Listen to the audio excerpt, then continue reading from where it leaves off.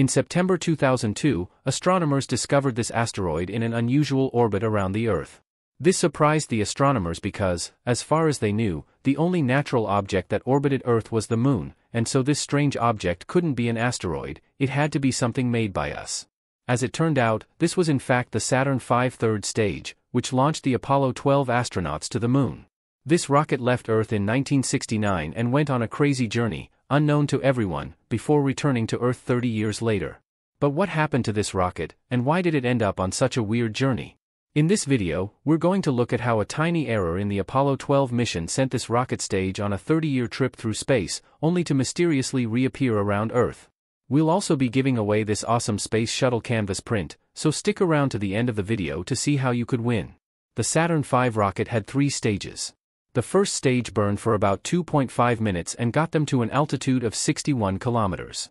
The second stage would burn for around 6 minutes, taking them higher and faster. It was then up to the third and final stage to do a short burn and get the spacecraft into orbit. Once it was in a stable orbit, the third stage would be fired up again to perform the translunar injection burn, sending the rocket and crew on a trajectory to intersect the moon.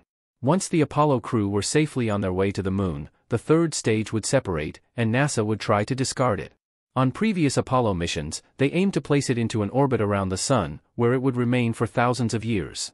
In order to get into this orbit, NASA aimed to meet the Moon on its trailing side, where the Moon's gravity would slingshot the rocket away from Earth and into a solar orbit. For NASA, an orbit like this was a good investment because it meant the object wouldn't get in the way of future missions, but things didn't quite work out for Apollo 12. An investment that definitely won't get in your way is Masterworks. Masterworks has been featured in financial publications like Business Insider and Financial Times, and was recently awarded one of LinkedIn's top 50 startups because, from Masterworks' office in downtown Manhattan, their team is opening the door to art investing. Masterworks doesn't do NFTs or crypto. You're investing in real, physical paintings qualified with the SEC. And I've linked to that sec.gov page in the description. To date, Masterworks has filed over 200 paintings with the SEC, ranging from $500,000 to $25 million. Masterworks has paid out over $25 million in the last 12 months alone. That includes three sales just in the last 60 days, which returned 10%, 13%, and 35% net to their investors.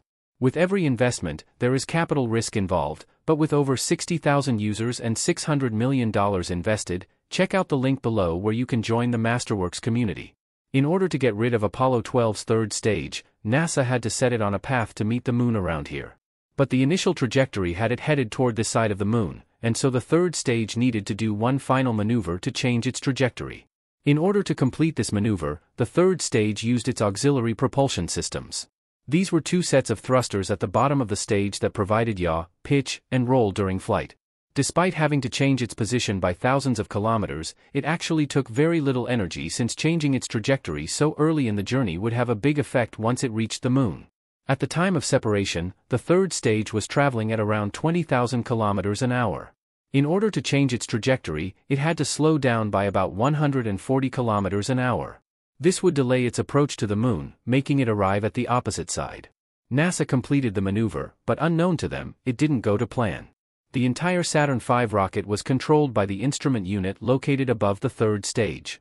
This had its own internal guidance unit on board, which was used to plot the rocket's trajectory. It also had two C-band transponders, which would send signals back to ground stations on Earth, giving NASA more accurate trajectory data. Once the rocket was safely in orbit, NASA could compare this data with the rocket's own data and see if it was following the desired flight path. If anything was off, they could send a command up to the rocket to correct it. What NASA didn't know was that the tracking system was off by a tiny amount, which led them to believe the rocket was traveling faster than it really was.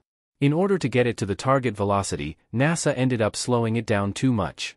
They overcorrected by just 40 kilometers an hour, but this was enough to drastically delay its arrival to the moon, causing it to miss by thousands of kilometers.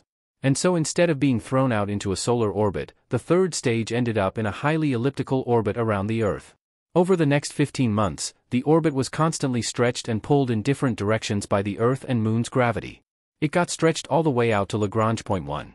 This is a point between Earth and the Sun where the gravitational forces of both bodies cancel out.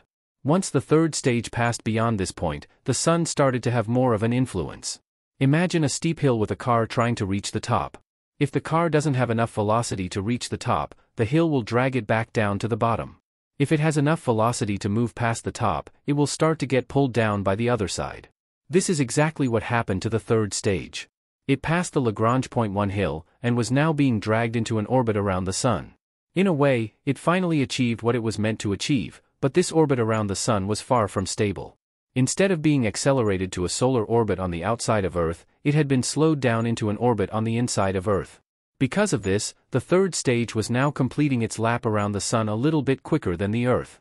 This meant it was slowly pulling away. But it was only a matter of time before the third stage would catch back up.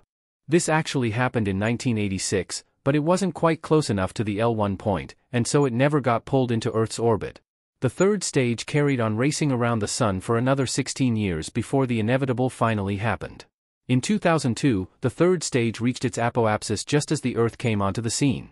This time, the third stage crossed beyond Earth's L1 point, and for the first time in 32 years, the Earth now had more pull on the object than the Sun. Over the course of two months, Earth pulled the third stage into a highly elliptical orbit around the Earth, just like the one it was in before.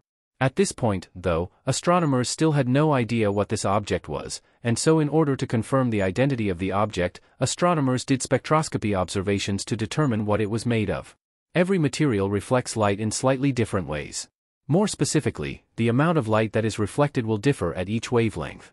And so to determine the material of this object, astronomers took light measurements of the third stage at many different wavelengths, which gave them a spectroscopy graph. With this, they could compare it to other spectroscopy graphs and see if it matched any other materials. It turned out that it was very similar to the spectroscopy graph of white titanium oxide paint, the exact kind that was used on the Saturn V. Astronomers were also able to trace the object's trajectory back and found that it left Earth's orbit in 1971. And so with this information, astronomers could confidently say that this really was the long-lost third stage from Apollo 12. Astronomers continued to track the orbit, and after just a year, it was once again thrown out into an orbit around the Sun. Calculations made by astronomers showed that it will return to Earth in the mid-40s. This object will spend many more years racing through space, but the laws of physics will always make sure it returns home every now and then. And now, time for something really special.